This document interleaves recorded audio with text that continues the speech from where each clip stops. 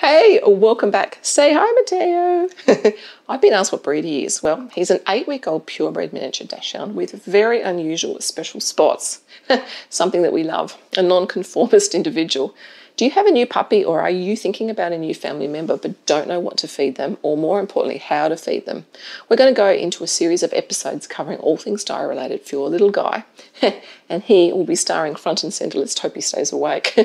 Well, what the heck can you feed them? I hear you asking. Hmm. I wanted to make this series to explain to you that it's not just a bowl of puppy kibble. That stuff is expensive and you can do so much better simply by feeding real foods, not highly processed junk food like that stuff. Okay, well, we navigated through day one, Matteo. And now we've had a good sleep. Well, some of us has, thanks, buddy. and now the real diet transitioning begins. If you missed the first day at home and want to learn about feeding your brand new puppy on day one, check out the link below. Now, day two and beyond. Are you ready, little man? Who am I kidding? You and your spots were born ready, weren't they?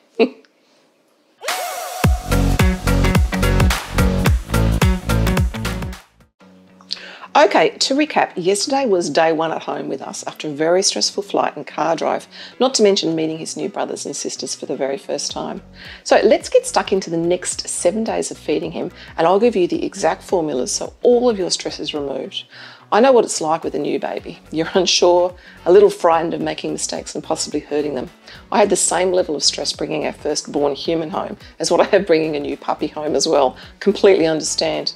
And everyone is telling you a million different things, and your confusion is stress levels go crazy high. This is why I'm going in depth through this process. Stop, don't stress. With some knowledge and planning, you have totally got this covered. Okay, puppy feeding 101. Let's start at the very beginning. How many times a day should you feed your puppy and how much should you actually be feeding them?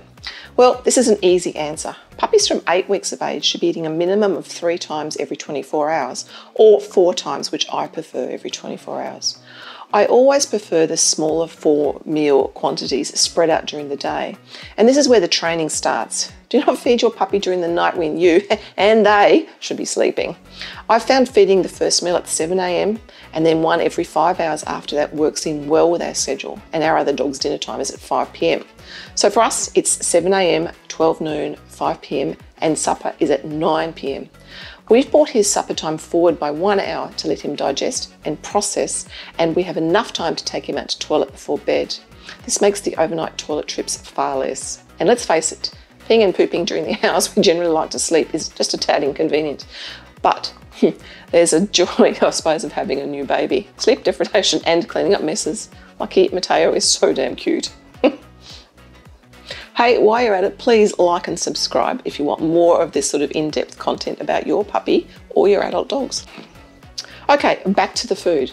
All right, day two, we need to introduce some raw solids into the cooked chicken soup to firm up his poops and get them into a routine. The cooked chicken soup is a simple broth. Check out the episode one linked below for the recipe. Halve the soup broth and replace it with half raw chicken mince. Note, I'm only using one protein here. Okay, the chicken broth and raw chicken was chosen for little Matteo because the breeder, breeder was feeding him raw chicken uh, to wean him from his uh, from his mum. So I know it will be well received and it won't cause any crazy squirty bum problems. I've also included a pinch of psyllium husks to his meal and all the rest of his meals for the next week for a couple of reasons. talking a tiny pinch, that much. Every meal. There we go, just like that. Perfect. Now, these husks contain no nutritional value and are insoluble. They are a prebiotic, that is, insoluble fibre that serves two purposes. The first one is to firm up his poops, the second one is to slow his digestive process and enable his gut microbiome to grow. That is, the good bacteria in his stomach that enables him to digest his food. It's actually a prebiotic, as I've mentioned. Now, how much should you be feeding your puppy? Well, it's a formula based on their weight and it's a good guide to work with. It's just a guide. Remember, every dog is different, just like every human, and their metabolisms are different. Some are super crazy active and need more rocket fuel to keep them going. Others are quiet and calm and need far less food. Matteo is the first, by the way. But the baseline is a minimum of 10% of their current body weight. Keep track of this. They grow so fast at this stage and their weight will change from week to week. Just give them away once a week to double check. Now, Matteo is currently weighing in at a whopping a one kilo. Therefore, he needs 100 grams of food per a 24 hour period. So that's four meals weighing 25 grams each. Do you have a four kilo puppy? That's 10% of 400, so 400 grams of food per day, 100 grams per meal, over four meals. Okay, so our second day meals look like this for Matteo. Meal one and meal two, half chicken soup and half chicken mince with a pinch of psyllium husks. Goat's milk is brilliant for puppies as it's lactose free. It's high in very easy to digest proteins, and his breeder has also used it to help wean him from his mum's milk. This will fill in some gaps nutrient wise until we can gradually transition him to a full diet next week. Let him drink as much as he wants, just offer it after the mince. Matteo at this stage is drinking about 50 mils per serving. Okay, meal three and four, just the plain chicken mince with a pinch of psyllium husks, just like so and a little side dish or a chaser of this lovely goat's milk.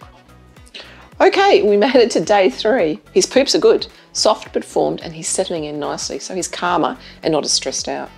He's getting the idea of his space and what's expected of him. Day three is more of the same raw chicken mince, psyllium husks, and his goat's milk. Four meals worth, as I've already mentioned. Now, this may seem painfully slow to you, and it is, but I've avoided the digestive shock that so many new puppy parents experience and it's scary. And you'll have to make a vet appointment and freak out, and your vet will tell you just to feed the awful puppy kibble because you've got squirty bum everywhere. This approach is your surefire guarantee way to avoid this problem and avoid that vet visit. Right, we're up to day four. Now, day four is the introduction of another protein. In this case, it's going to be pork. Pork is a cool protein and is usually very well received by puppies. A lot of people don't think you can feed pork to dogs. This is not the case at all. It is true for pork products like bacon or ham. These are a no-no, but this beautiful pork topside that I'm feeding him is fantastic. I've left the pork in larger pieces. I love to feed all my dogs like this for two reasons. Firstly, they prefer the larger pieces. Secondly, the chewing action is great for teeth and gums and it also stimulates their digestion. Who wants to eat soft mush? Same number of meals, same goat's milk chaser. So simply change out half of the chicken mince and replace it with half the raw pork chunks for the first two meals of the day. Meals three and four can all be pork. Remove the chicken altogether. He's still getting four serves of goat's milk a day and don't forget your little bit of psyllium on top of all. Don't forget the psyllium husks. This works in conjunction with the goat's milk as a prebiotic and the goat's milk is a mild probiotic. Together, they are building his gut microbiome, which is vital for a healthy, robust dog. Now we're getting exciting. Day five is the introduction of bones, in this case, a chicken neck.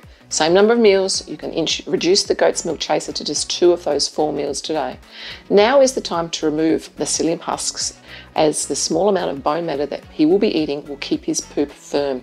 If your puppy's not had bones or you just don't know if he has or not, the trick here is just to simply offer him a raw meaty bone that is bigger than their head so they don't swallow it whole. You may need to step in as mum here and teach your puppy what to do with this tasty looking thing. Simply hold it in your hand and let him have a chew. Then lots and lots of praise. He needs to chew on his bone happily without hiding it from you or trying to swallow it whole. This positive reinforcement is important. You are setting him up for life, and dogs need raw bones for so many reasons. Hold it in your hand, let him go crazy. He's learning how tasty it is as well, and you're not going to take it away from him. He needs the calcium as well as the teeth cleaning, and it's a self soothing behaviour as well.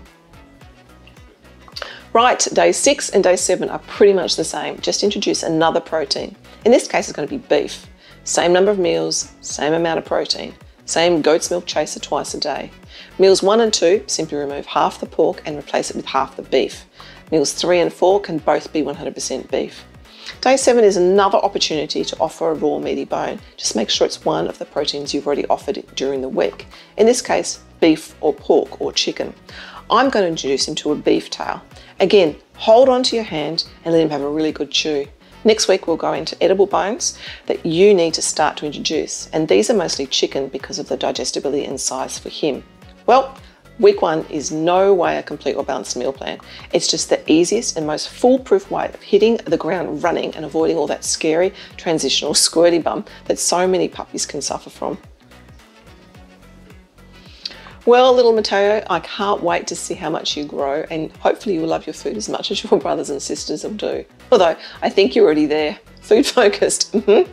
The good thing for us is your food obsession will make training a breeze. Hit that subscribe button so you don't miss the next episode. I'll cover how to transition him into a complete and varied diet that includes offal, seafood, eggs, veggies, and a whole lot more. A fully fed raw diet for puppies is not hard. Episode 3 of Puppy Diet 101 covers the next three weeks of his food plan, setting him up for success without that squirty bum.